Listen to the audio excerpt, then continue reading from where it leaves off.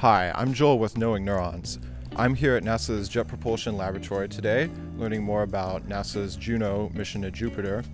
So, just as scientists and doctors use cutting edge technologies to see inside the human body, NASA's Juno mission to Jupiter is going to use cutting edge technologies to actually see inside the planet Jupiter. So, I'm standing in front of a scaled down replica of the Juno spacecraft. As you can see on the far solar panel, there's a magnetometer that will be used for studying Jupiter's magnetic field.